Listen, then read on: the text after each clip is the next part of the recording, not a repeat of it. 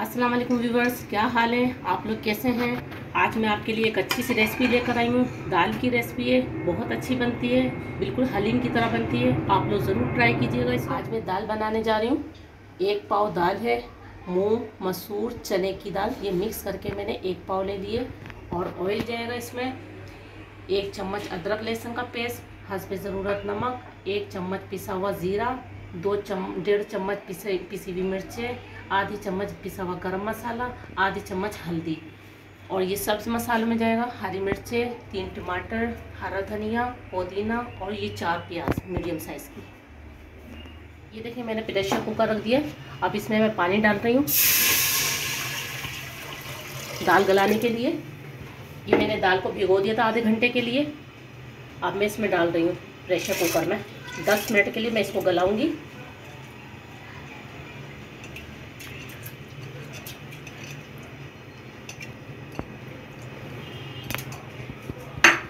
ये देखें, ये मैंने इसमें दाल डाल दी है। जब दाल गल जाएगी तो फिर मैं आपको दिखाती हूँ। ये देखिए, इसमें मैं दाल के अंदर सिर्फ़ हल्दी डाल रही हूँ। सिर्फ़ हल्दी डाल के और दाल को हमने बॉईल करना है। मैं प्रेशर कुकर में कर रही हूँ। दस मिनट में हो जाएगी ये दाल। तो फिर दस मिनट के बाद मैं आप ये देखें, दस मिनट हो गए। ये देखें, हमारी दाल की कितनी अच्छी तरीके से गल गई है। मैं इसका मसाला बनाऊँगी। वो आपको दिखाती हूँ मसाला। अब मैं इसका मसाला बनाने जा रही हूँ। सबसे पहले मैं ऑयल डालूँगी। ये मैंने ऑयल डाल दिया। थोड़ा सा गर्म हो जाए ऑयल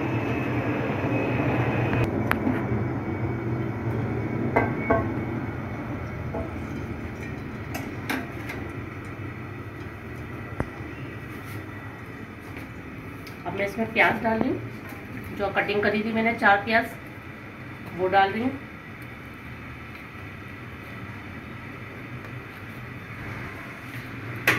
अब इस प्याज को फ्राई करेंगे।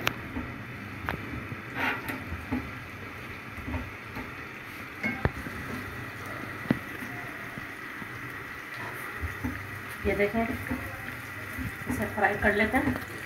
ज़्यादा फ्राई मत कीजिएगा। हल्की सी फ्राई करनी है।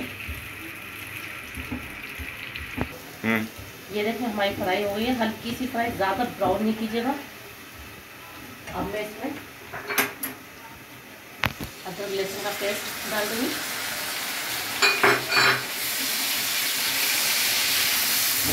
इसको थोड़ा सा फ्राई कर लूँगी। अदरक लहसुन के साथ पकाऊँगी।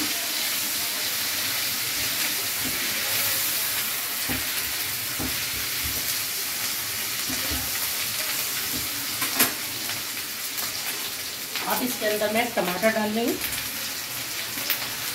ये मैंने टमाटर डाल दिए तीन जो काटे थे तीन टमाटर काटे थे। इसे भूनूँगी। ये। देखो मैंने टमाटर और प्याज को भून लिया। अब मैं इसमें सारे मसाले डालूँगी।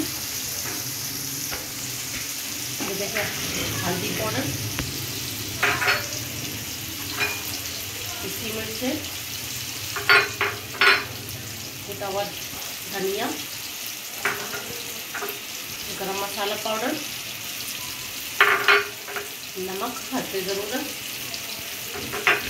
अब मैं थोड़ा सा भूनूँगी।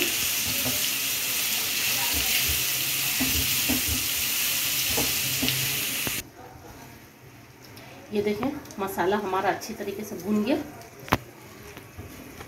अब इस मसाले को वो जो हमने दाल बॉयल करी थी, इस मसाले को मैं उसमें डाल दूँगी, इसको उतारती हूँ। अब ये हमारी दाल है। अब इस दाल के अंदर मैं डाल रही हूँ ये सारा मसाला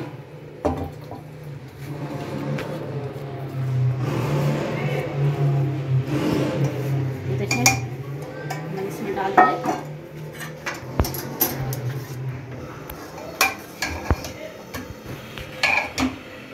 इसको अच्छी तरीके से मिक्स कर लूँगी।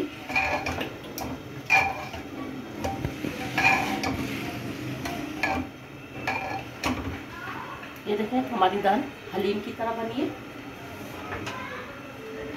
अब इसमें मैं हरी मिर्चें डालूँगी। हरा धनिया और पुदीना जो मैंने बताया था आपको, वो डाल रही हूँ। मैं इसे मिक्स कर लूँगी।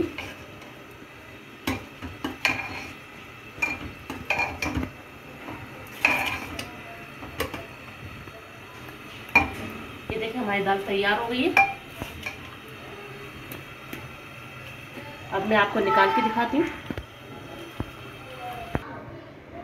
ये देखिए, ये मैं निकाल के दिखा रही हूँ आपको।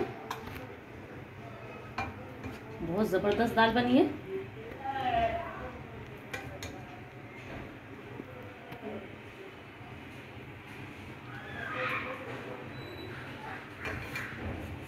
और डाल देती हूँ। ये देखिए, हमारी दाल तैयार हो गई। अब मैं आपसे इजाज़त लेती हूँ। मेरे चैनल को सब्सक्राइब कीजिएगा, वीडियो को लाइक कीजिएगा, बेल आइकन को प्रेस कीजिएगा, ताकि मेरी नोटिफिकेशन आपको जल्द से जल्द मिल सके। नेक्स्ट वीडियो के साथ फिर मिलते हैं। तब तक के लिए इजाज़त। अल्लाह हाफिज़।